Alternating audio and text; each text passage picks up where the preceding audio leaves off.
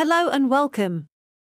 This is my YouTube channel based on celebrity news. Travis Kelce could be facing a big punishment from the NFL if he attempts to perform his trademark celebration, which has been made even more popular by his girlfriend Taylor Swift's adaptation.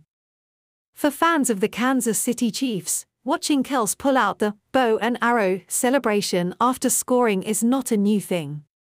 Such is the popularity of the move that even Travis Kelce's girlfriend Taylor Swift mimicked the move during her Eras tour show in London.